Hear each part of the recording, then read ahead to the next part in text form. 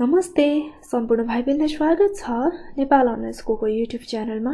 हामी कक्षा दसको नेपाली विषय पढ्ने क्रममा छौँ यसै क्रममा आजको यो भिडियोमा पनि हामी टिका एकाङ्कीसँग सम्बन्धित रहेको लेखाइको भागको बाँकी रहेका महत्त्वपूर्ण अभ्यासहरू गर्न जाँदैछौँ र विशेष गरी आजको यो भिडियोमा चाहिँ हामी तार्किक प्रश्नोत्तरहरू कसरी लेख्ने भन्ने कुरा चाहिँ सिक्नेछौँ है।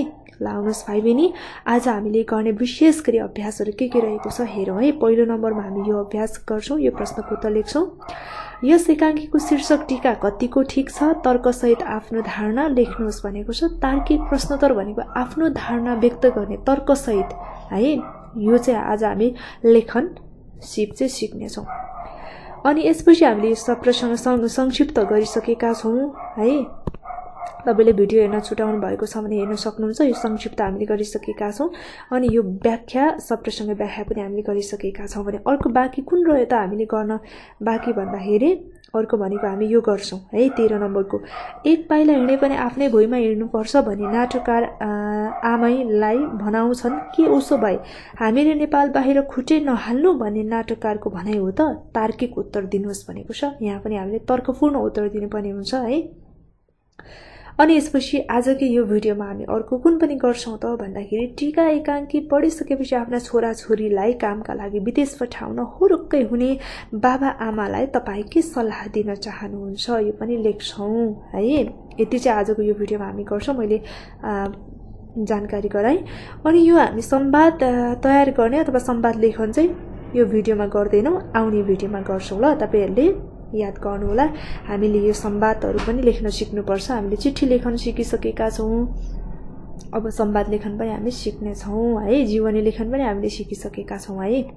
ल आज हामी फटाफट अब यो तिनवटा अभ्यास चाहिँ गर्नतर्फ लाग्यौँ यो तिनवटै हाम्रो तार्किक प्रश्नोत्तर अन्तर्गत पर्ने गर्दछ। त्यसैले आजको यो भिडियोमा चाहिँ हामी तार्किक प्रश्नोत्तरको लेखन सिप चाहिँ सिक्न जाँदैछौँ अब आउनुहोस् ल सुरुमा हामी के गर्छौँ भन्दाखेरि यहाँ मैले लेखिसकेकी छु। हामी यो लेखन अभ्यासमा छौँ है। र तपाईँहरूले यहाँ देख्न सक्नुहुन्छ स्क्रिनमा तार्किक प्रश्नोत्तर लेखन अभ्यास भनेर यहाँ मैले लेखिसकेकी छु। अब हामी सुरुमा यो अभ्यासहरू त गर्छौँ नै। त्योभन्दा अगाडि अब विस्तृतमा तर्कपूर्ण हामीले प्रश्नहरूको उत्तर कसरी लेख्ने तार्किक प्रश्नोत्तर कसरी लेख्ने अथवा हामीले त्यो तार्किक रूपमा आफ्नो उत्तरहरूलाई कसरी प्रस्तुत गर्ने भन्ने कुरा चाहिँ अब म विस्तृतमा तपाईँहरूलाई बुझाउने कोसिस गर्छु। ध्यान दिएर सुन्नुहोस् ल। अब हामीले तार्किक उत्तर लेख्दाखेरि चाहिँ विशेष गरी के के कुरामा ध्यान दिनुपर्छ भन्ने कुरालाई म जोड्छु है अब। अब यहाँ चाहिँ हामीले विशेष गरी सुरुमा के कुरा ध्यान दिनुपर्छ भने के समस्या दिएको छ त्यसको तर्क दिएर समाधान दिने अथवा समाधान गर्ने हामीले पहिलो नम्बरमा। दोस्रो नम्बरमा के गर्नु पर्यो? आफ्नो सृजनशील दृष्टिकोण अर्थात् विचार राख्ने है अनि तेस्रोमा पाँचका आधारमा थप उदाहरण दिई आफ्नो भनाइ अझ तर्कपूर्ण रूपमा राख्ने अथवा लेख्ने है अनि अर्को भनेको के गर्ने समस्याको परिचय विश्लेषण र निष्कर्ष प्रस्तुत गर्ने। अनि शीर्षक नदिने यसमा चाहिँ अनि पात्र आदिको चाहिँ पाठमा दिएकै भूमिकामा सहमत अथवा असहमत जनाइ कम्तीमा चारदेखि पाँचवटा विभिन्न बलिया तर्कद्वारा चाहिँ आफ्ना भनाइलाई चाहिँ मजबुत बनाउने भनेको तर्कपूर्ण भनेको चाहिँ विशेष गरी कहाँ चाहिँ लागु हुन्छ त भन्दाखेरि वाद विवादमा। त्यहाँ भनेको पक्ष र विपक्षमा बोल्नुपर्ने हुन्छ आफ्नो तर्कहरू राख्नुपर्ने हुन्छ।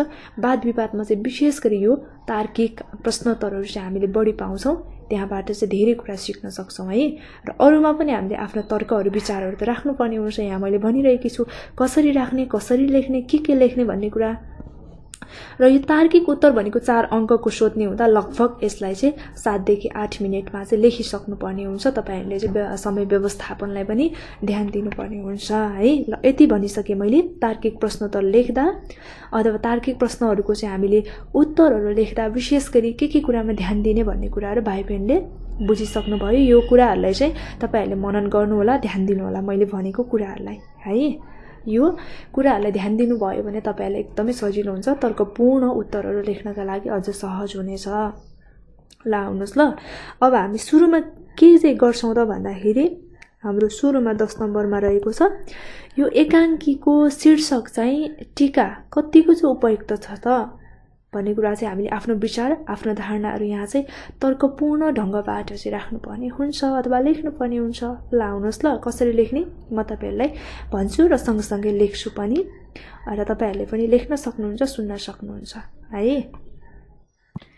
ल है त अब हामी सुरु गर्छौँ लेख्नलाई। सुरुमा त हामी यो चाहिँ कसरी चाहिँ शीर्षक एकदमै सार्थक रहन गएको अथवा कसरी ठिक छ कि छैन भन्ने कुरा चाहिँ हामीले आफ्नो विचार यहाँ राख्नुपर्ने हुन्छ। त्यसैले अब यसरी लेख्नु लेखौँ है। भीमनिधि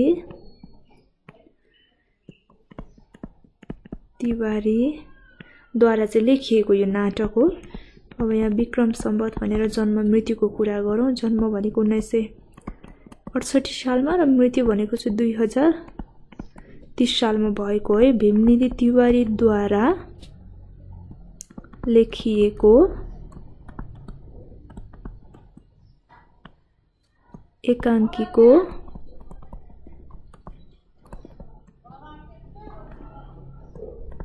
टिका है। टिका शीर्षक सार्थक छ अथवा ठिक छ उपयुक्त छ कसरी छ अब हामीले यहाँ आफ्नो विचार राख्नुपर्ने हुन्छ है। अब टिकाको दिनबाट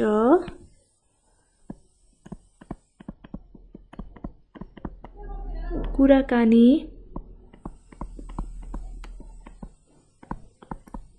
सुरु भएर त्यही दिन सबै घटेको र घटेका घटनाहरू है त्यसैका आधारमा राष्ट्रियताको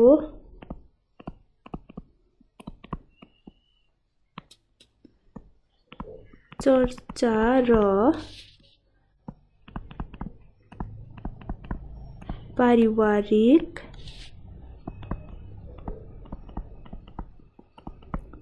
मिलनको अवस्था आएको देखिन्छ यसरी हामीले यहाँ चाहिँ यति कुरा लेख्नु पर्यो है अब त्यसपछि के लेख्नु पर्यो भन्दाखेरि त्यसै गरी अथवा यसै गरी टिकाकै सेरोफेरोमा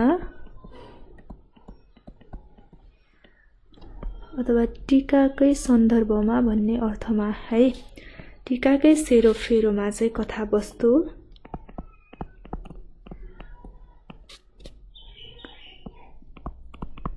बुनिएकाले अथवा त्यससँग चाहिँ सम्बन्धित भएकाले चाहिँ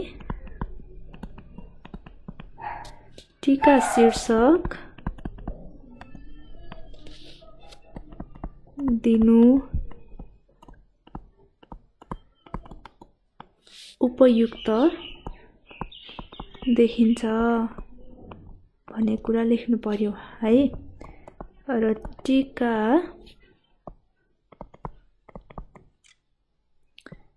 आशीर्वाद। आशीर्वादको प्रतीक पनि हो। प्रतीक हो। र आमैले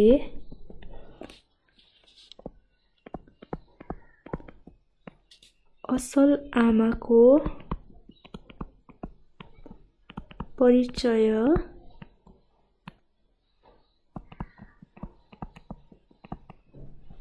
दिएकी छन् र असल सन्तानका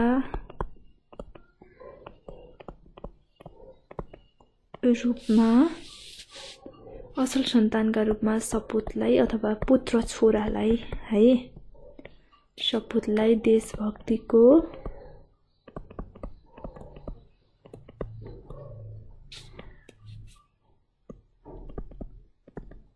माया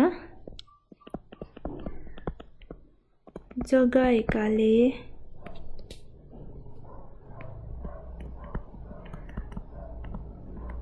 प्रतीकात्मक सिम्बोलिक रूपमा चाहिँ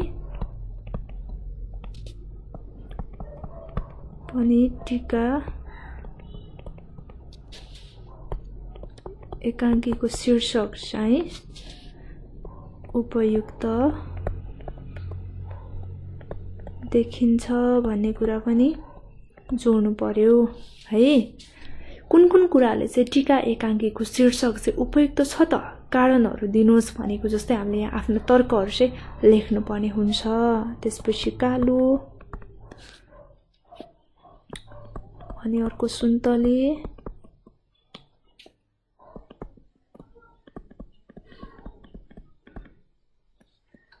कमानसिङ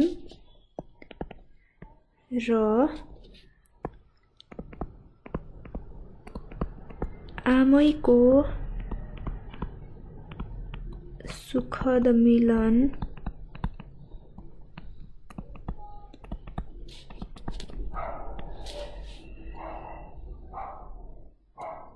सुखद मिलन टिकाको महत्त्वका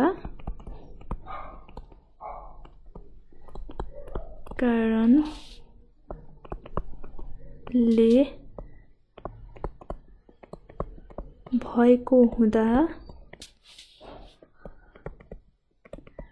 एकाङ्कीको शीर्षक है।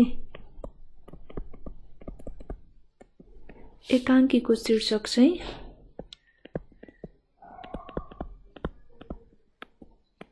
वैकल्पिक रूपमा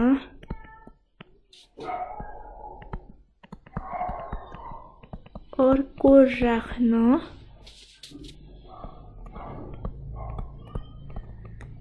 उपयुक्त देखिँदैन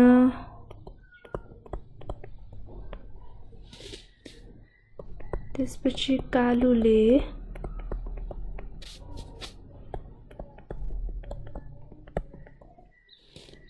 टिकाकै दिन पिङ खेल्नु त्यसपछि कमान सिंह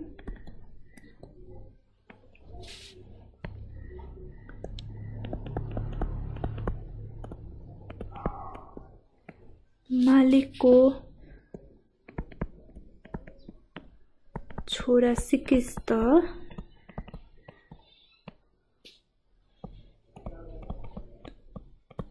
हुँदा पनि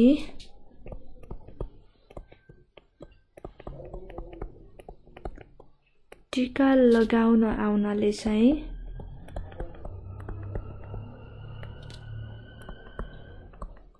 यस एकाङ्कीको शीर्षक टिका शीर्षकै विषय केन्द्रमा रहेको छ। यसरी लेख्नु पर्यो है। अनि निष्कर्षमा के लेख्ने त भन्दाखेरि यसरी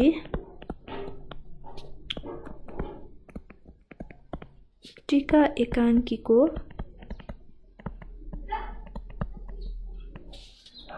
शीर्षक टिका अत्यन्त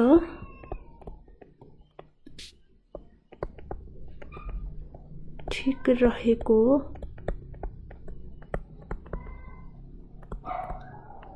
देखिन्छ भनेर लेख्नु पर्यो र टिकाकै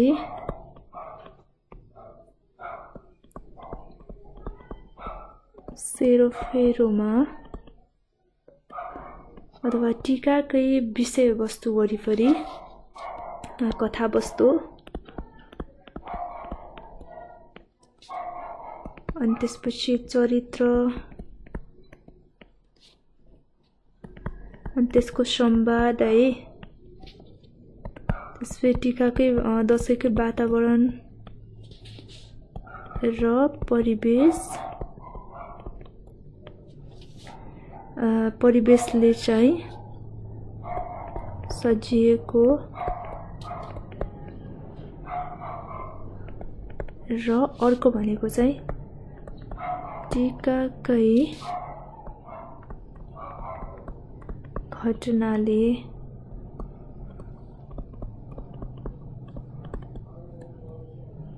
कमानसिंह आफ्नै घरमा रमाउने प्रण अथवा प्रतिज्ञा है। प्रतिज्ञा गरेकाले चाहिँ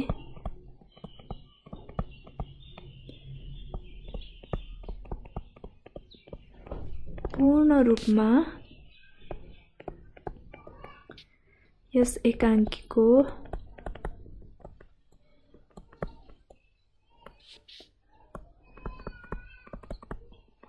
शीर्षक सार्थक रहेको देखिन्छ भनेर यसरी हामीले लेख्नुपर्छ है?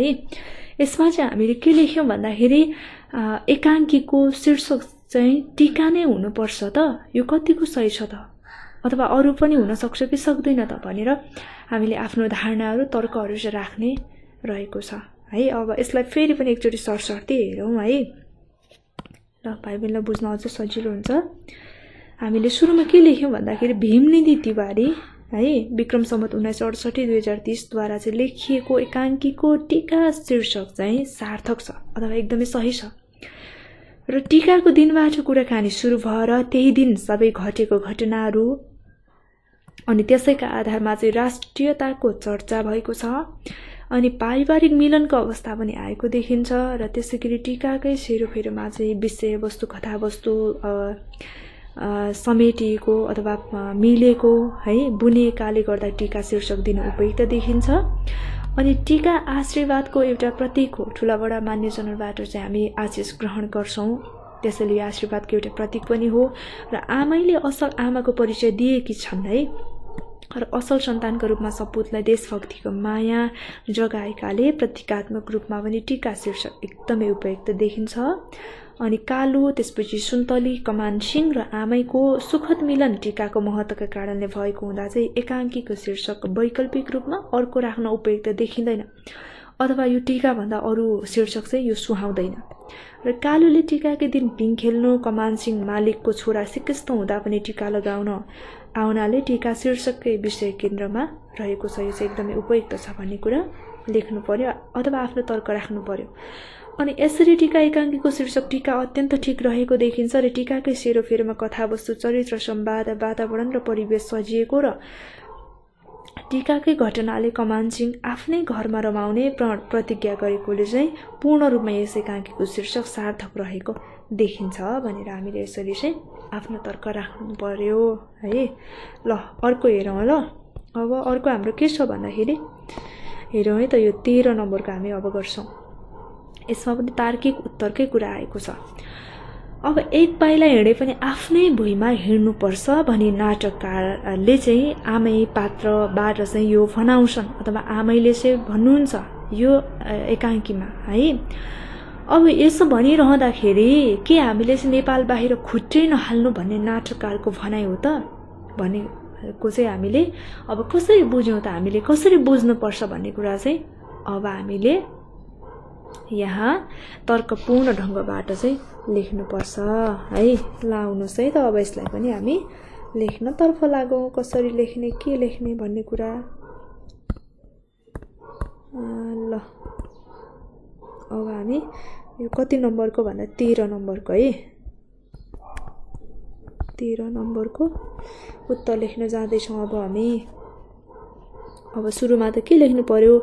कथा नाटककारकै कुरा गर्नु पर्यो है। नाटककार भीमनिधि तिवारी। अब जन्म मृत्युको कुरा हामीलाई थाहा भएसम्म लेख्नै पर्यो है उन्नाइस सय अडसट्ठी मृत्यु भनेको चाहिँ दुई हजार तिस साल हो। र यो लेख्दा लेख्दै कण्ठस्थ भइसक्छ हामीलाई। द्वारा रचित टिका एकाङ्कीमा।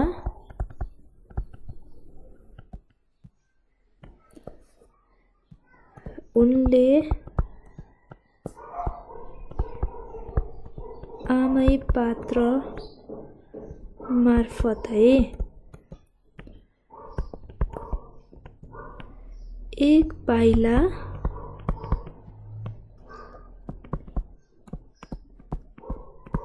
हिँडे पनि।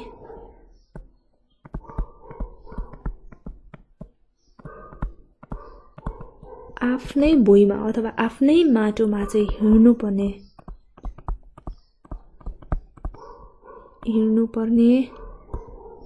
भनी जनाउँछन् अथवा आमै पात्रले चाहिँ यो कुरा भनेकी छन् है। जनाउँछन् भनेर लेख्यौँ अनि त्यसपछि आफ्नै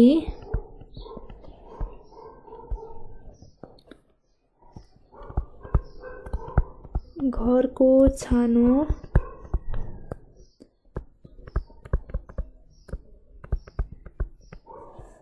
चुहियो भने घर परिवारको बिचल्ले हुन्छ। त्यसपछि घर। घर लड्छ है। घर लड्छ।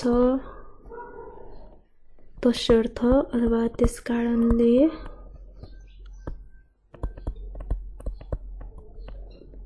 आफ्नै घरको छानो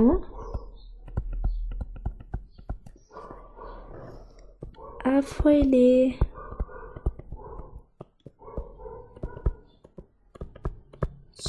पर्छ अनि देश पनि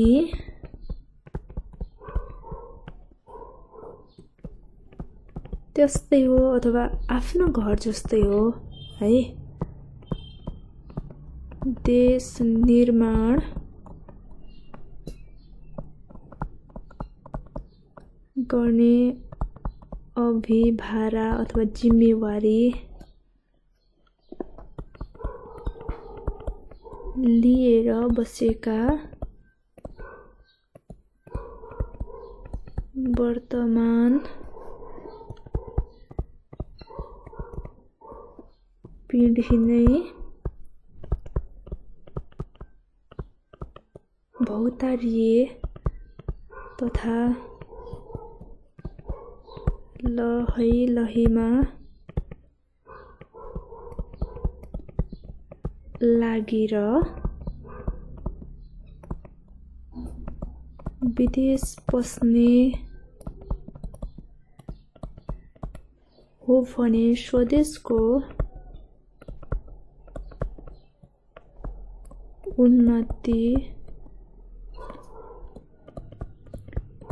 गर्ने।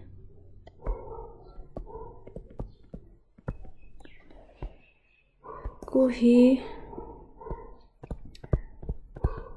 हुँदैन। र आफ्नै आमालाई रुवाएर नेपाल आमालाई है? अनि त्यसपछि जन्मभूमिलाई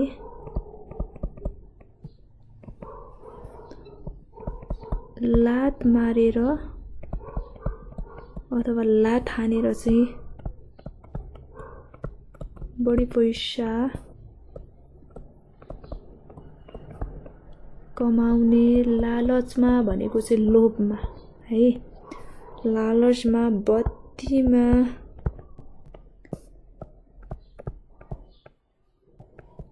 पुतली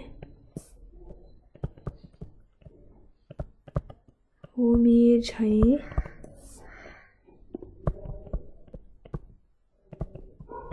विदेश पस्नु भनेको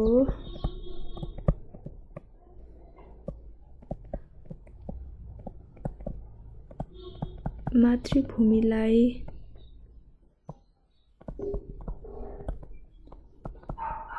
धोका दिनु हो भनेर लेख्नु पऱ्यो यहाँसम्म अनि यस्तो गर्दा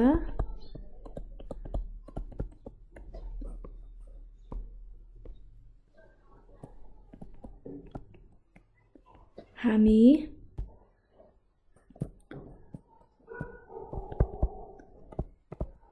धिकारका ना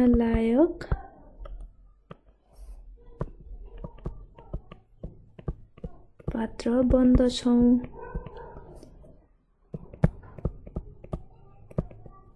तसर्थ एक पाइलो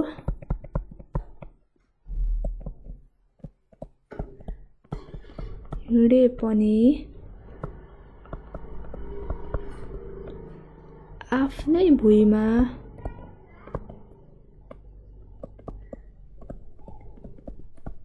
हिँड्नुपर्छ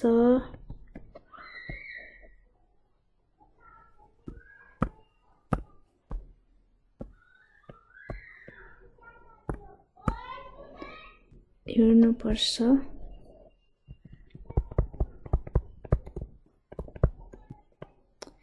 भनिएको हो वास्तवमा है। अब जे जति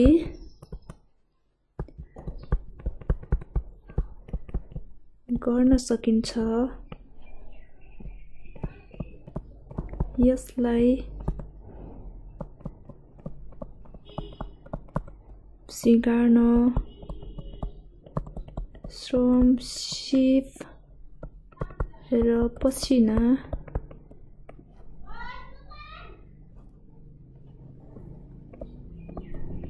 यही खन्याउन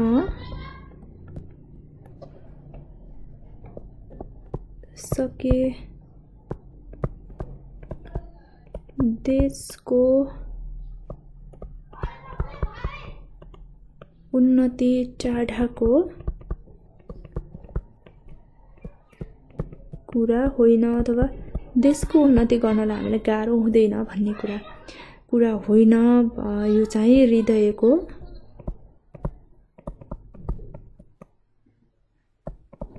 गहिराइभित्रको है।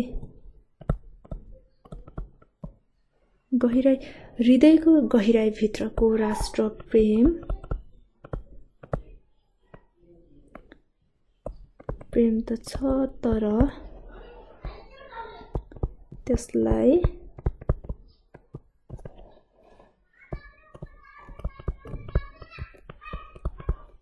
उजागर गर्दै व्यवहारमा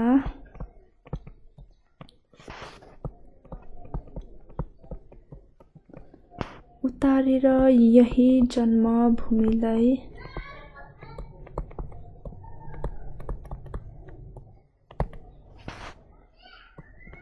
वैभव थलो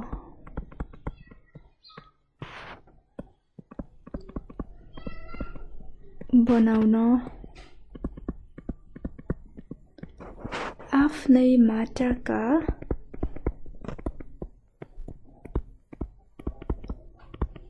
डल्लामा पसिना खन्याउनु पर्छ भनेर यसरी लेख्ने है यो खन्याउनु पर्छ भन्ने आमैको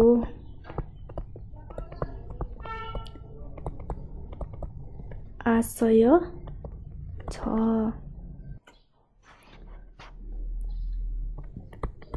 तर आमैले विदेश पस्नै नहुने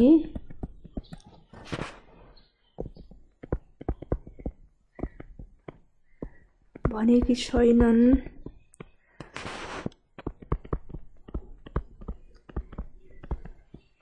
विदेशमा गएर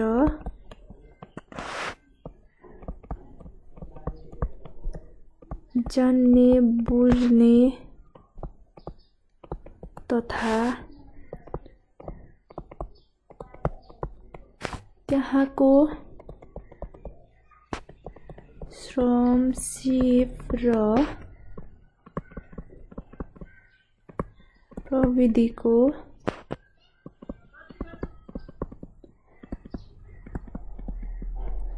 ज्ञान आर्जन गर्दै तालिम लिएर स्वदेशका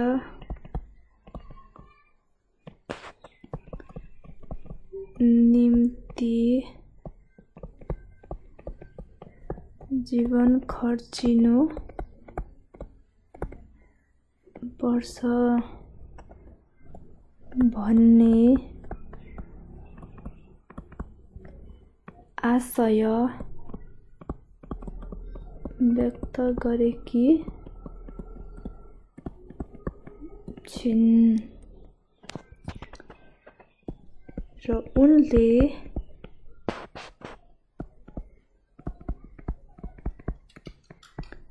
आफ्नो घर बने पो उसलाई सुख हुन्छ।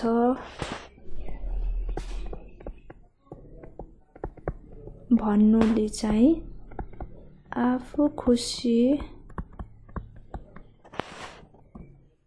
हुने उपाय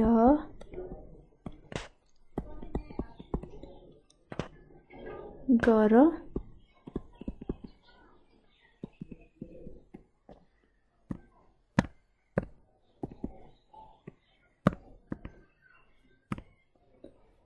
गर भने कि छन् है? अनि सबैभन्दा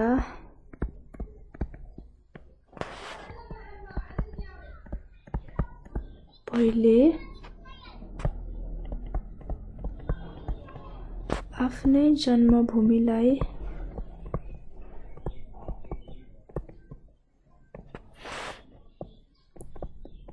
परिश्रमी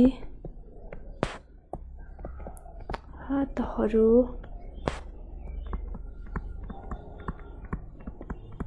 दिनुपर्ने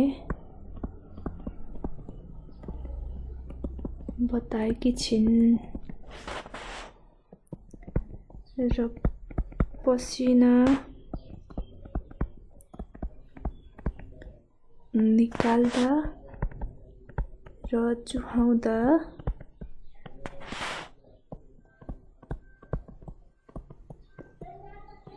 स्वदेशमै गर्न सल्लाह।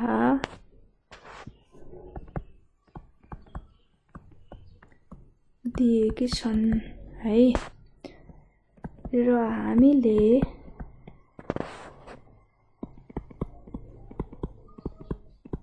नेपाल बाहिर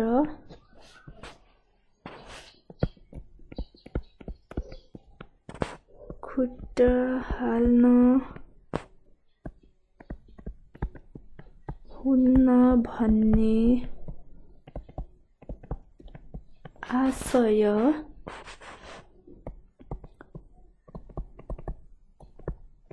एकाङ्कीमा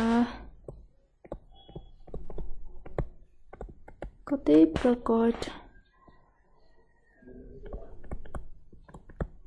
भएको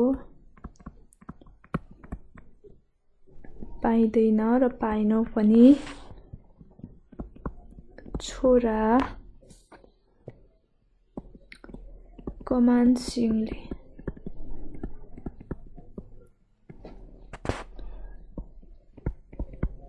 मनले नमाने पनि जहान परिवार बालक छोरालाई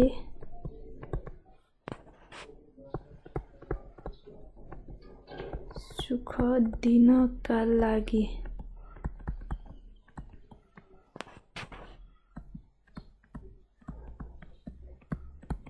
केही पैसा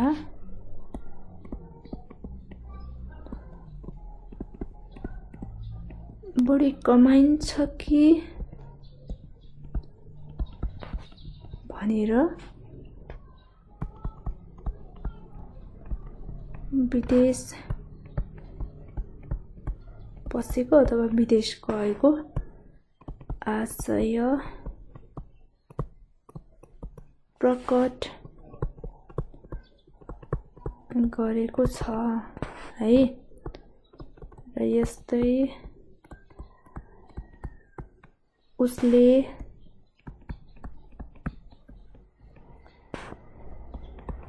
आफ्नै गाउँमा रमाएर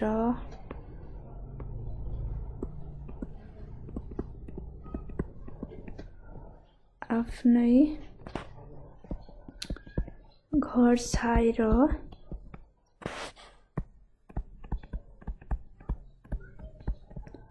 बस्नुपर्ने कुरा गर्दा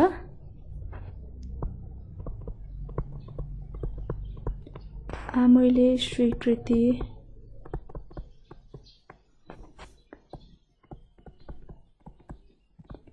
जनाएकी छिन् भनेर लेख्नु पर्यो है। तर अबदेखि कोही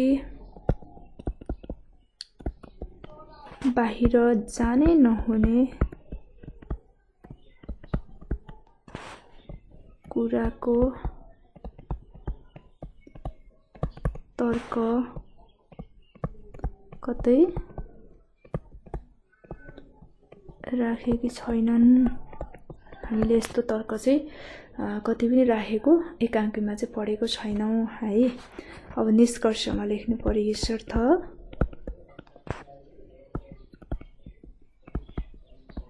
कथाको प्रमुख पात्र। आमैले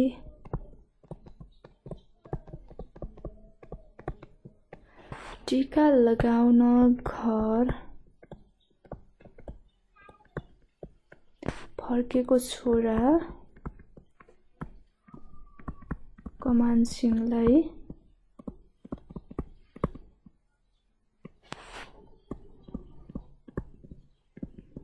विदेश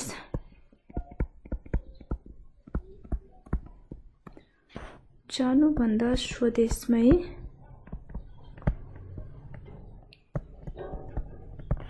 श्रम सिप र पसिना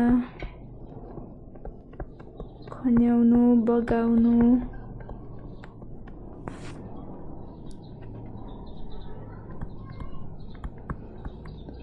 भन्ने बताइन् अथवा यसरी सम्झाइन् तर कसैले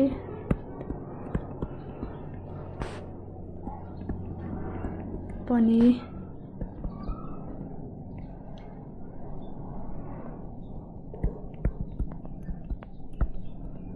विदेशमा पाइला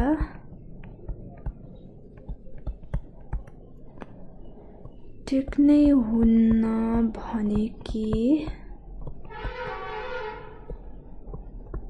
छैनन् भनेर भन्न सकिन्छ भनेर लेख्नु पर्यो है। ल यसरी चाहिँ हामीले यहाँ लेखिसक्यौँ। अब फेरि एकचोटि हेरौँ ल निकै लामो भएको छ। अब यहाँ सरसर्ती हेरौँ फेरि यसलाई एकचोटि अनि राम्रोसँग बुझिन्छ। अब यहाँ चाहिँ एक पाइला हिँडे पनि आफ्नै भुइँमा हिँड्नुपर्छ भनेर चाहिँ जुन यो नाटकमा चाहिँ आमै पात्रले चाहिँ भनेकी छिन् है? अब यो आमै पात्रले यसरी भनिरहँदाखेरि के उसो भए हामीले नेपाल बाहिर अथवा विदेशमा खुट्टै टेक्नै नहुने अथवा बाहिर खुट्टै हाल्न नहुने भन्न खोजेको त तर्क राख्नु पर्यो। हो कि होइन त? हो भने कसरी होइन भने कसरी? है हामीले खुलस्त रूपमा स्पष्ट रूपमा व्याख्या गर्नु पर्यो। अब कसरी यहाँ हेरौँ ल। नाटककार भीमनिधि तिवारी यो हामीले जन्म मृत्युद्वारा चाहिँ रचित टिका एकाङ्कीमा उनले आमै पात्र मार्फत एक पाइला हिँडे पनि आफ्नै भुइँमा हिँड्नुपर्ने भनी जनाउँछन् र आफ्नै घरको छानो चुहियो भने घर परिवारको बिचल्ली हुन्छ घर लड्छ। तसर्थ आफ्नै घरको छानो आफैले छाउनुपर्छ।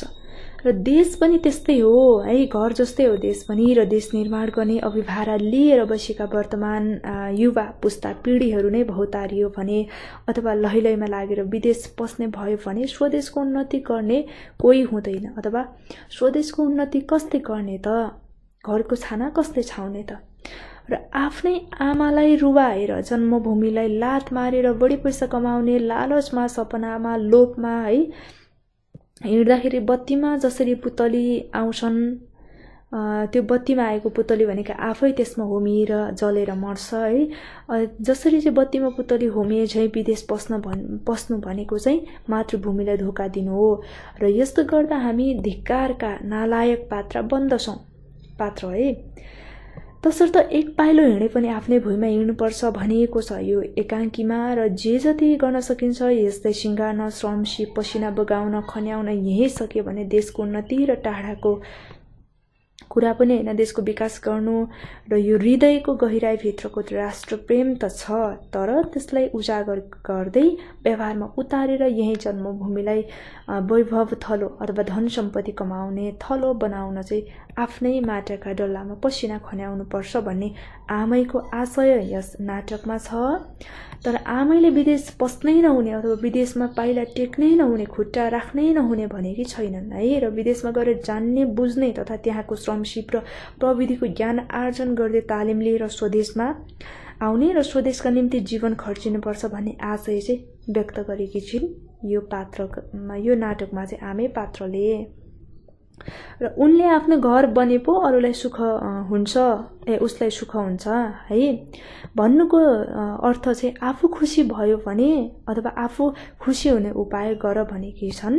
र सबैभन्दा पहिले आफ्नै जन्मभूमिलाई परिश्रमी हातहरू दिनुपर्ने बताएकी छिन्।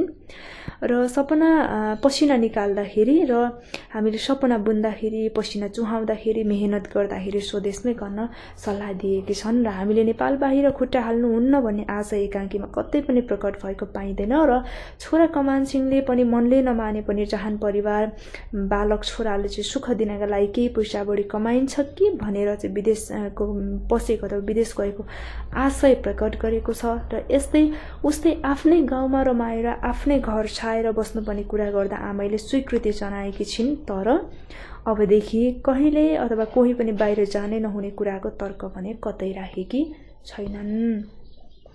र हामीले अन्त्यमा के लेख्नु पर्यो भने तसर्थ कथाको प्रमुख पात्र आमैले टिका लगाउन घर फर्केको छोरा कमानसिंहलाई विदेश जानुभन्दा स्वदेशमै श्रमसिप र पसिना खन्याउनु बगाउनु भन्ने बताइन् तर कसैले पनि विदेशमा चाहिँ पाइला टेक्नै हुन्न भनेकी छैनन् भनेर चाहिँ भन्न सकिन्छ। हामीले यसरी चाहिँ आफ्नो तर्कहरू यहाँ राख्नुपर्ने हुन्छ है? यसरी हामीले यहाँ लेखिसक्यौँ। अब अर्को रहेको छ हाम्रो के रहेको छ अर्को? पन्ध्र नम्बरको रहेको छ।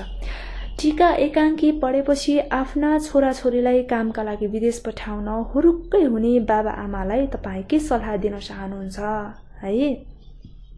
अब यो पनि एउटा तर्कपूर्ण उत्तर लेख्नुपर्ने हाम्रो प्रश्न रहेको छ। अब हामीले टिका एकाङ्की त पढ्यौँ है? कति भाइ बहिनीको पनि यस्तै होला विदेशमा गइन्छ है? अनि धन कमाइन्छ धेरै पैसा कमाइन्छ भन्ने होला हो। त्यो जाँदै नहुने अथवा जानै नसकिने भन्ने हुँदैन। तर हामी विभिन्न सिलसिलामा रोजगारीको सिलसिलामा जान्छौँ घुमफिरको सिलसिलामा जान्छौँ है भ्रमणका लागि अनि पढ्नको लागि उच्च शिक्षा हासिल गर्नका लागि विदेश जान्छौँ। त्यो एकदम सही हो। हामीले सूचना प्रविधि सँगसँगै चल्नुपर्ने हुन्छ है। र त्यहाँ गएर चाहिँ हामीले सिपहरू सिक्नुपर्ने हुन्छ। मेहनत गरेर त्यहाँ सिकेका सिपहरूलाई ज्ञानहरूलाई चाहिँ हामीले आफ्नै देशमा आएर चाहिँ आफ्नो देशको विकासमा पनि लाग्नुपर्छ है भनेर चाहिँ बुझ्नु पऱ्यो तर सिक्ने अनि उतै बस्ने गर्नुभयो भने चाहिँ त्यो चाहिँ सही होइन। यो भनेको चाहिँ हाम्रो जन्मभूमि मातृभूमिलाई चाहिँ हेला गरेको लात हानेको भन्ने चाहिँ हुन्छ है। अब हामीलाई थाहा छ नि त यो टिका एकाङ्कीमा भनेको त राष्ट्रप्रेमको झल राष्ट्रप्रेम पनि झल्किएको छ जसरी विदेशिएका युवा युवतीहरूलाई चाहिँ आफ्नै देशमा पनि के गर्न सकिन्छ है चाह्यो भनेको भन्ने कुरा चाहिँ यहाँ प्रस्तुत गरिएको छ। अब यो हुँदा हामीले टिका एकाङ्की पढिसकेपछि छोराछोरीहरूलाई काम गर्नका लागि विदेश पठाउनका लागि अथवा छोराछोरीहरूको आफ्नै इच्छाले गर्दा बाध्यताले गर्दा विभिन्न परिस्थितिको कारणले गर्दा नेपाली युवा युवतीहरू विदेश पलायन भइरहेका छन्। है?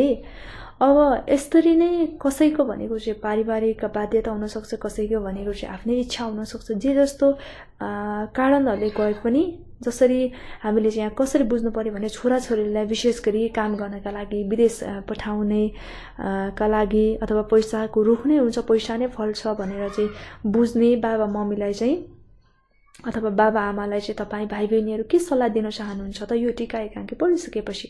भन्ने प्रश्न छ यो तपाईँहरूले पढिसकेपछि तपाईँहरूलाई चाहिँ अब के लाग्छ है कसरी के सल्लाह चाहिँ दिन चाहनुहुन्छ यो चाहिँ तपाईँहरूले भन्न पनि सक्नुहुन्छ है। यसलाई चाहिँ मैले लेखिनँ तर म यसलाई चाहिँ यहाँ भनिदिन्छु तपाईँहरूले चाहिँ एकदमै ध्यान दिएर सुन्नुहोस् ल। ल।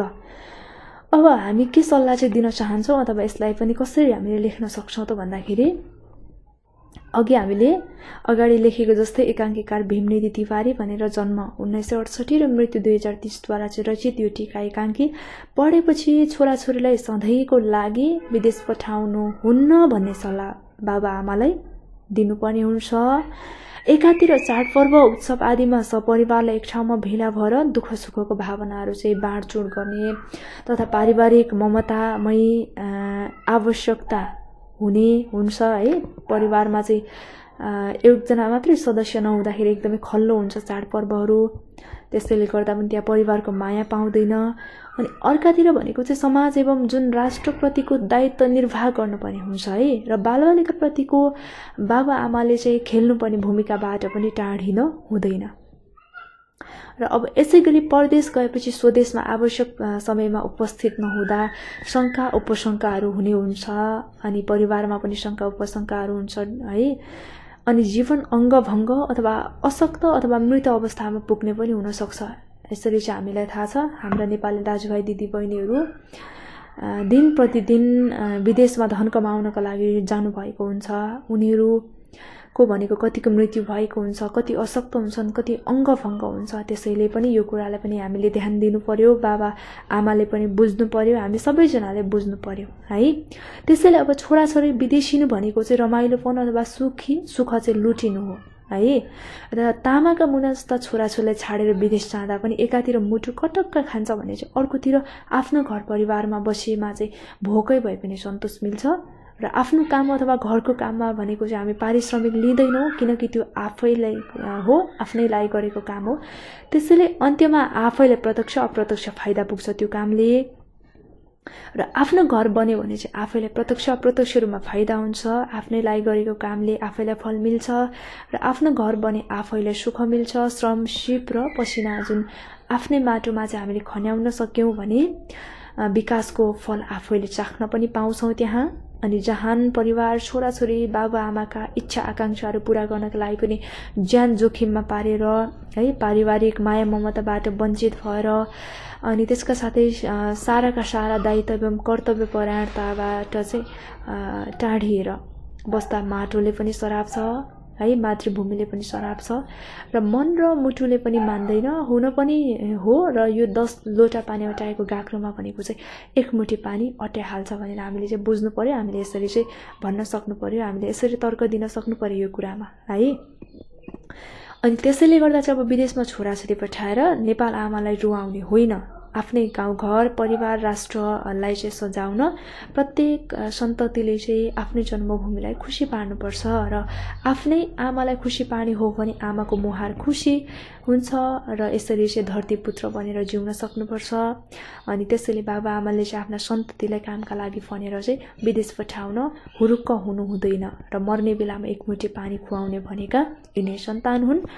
र चाहिँ दे देशले मागेको बेलामा चाहिँ एक थोपा रगत अथवा चाहिँ रगतको थोपाले देश सिन्चित गर्न पनि यिनै सन्ततिहरू चाहिँ अग्रसर हुन्छन् है। त्यसैले गर्दा अब नेपाल बाहिरै नपठाउने आशय भनेको चाहिँ होइन। हामीले यसरी बुझ्नु चाहिँ भएन तर स्वदेशी माटोको मायाका लागि सन्ततिले यहीँका माटाका डल्लामा चाहिँ भिजाउनुपर्छ पसिना चुहाउनुपर्छ मेहनत गर्नुपर्छ परिश्रम गर्नुपर्छ भन्ने कुरा चाहिँ हामीले बुझ्नु पर्यो।